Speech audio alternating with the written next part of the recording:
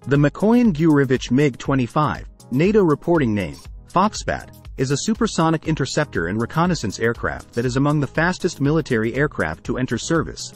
It was designed by the Soviet Union's Mikoyan Gurevich Bureau. It is an aircraft built primarily using stainless steel. It was to be the last plane designed by Mikhail Gurevich, before his retirement.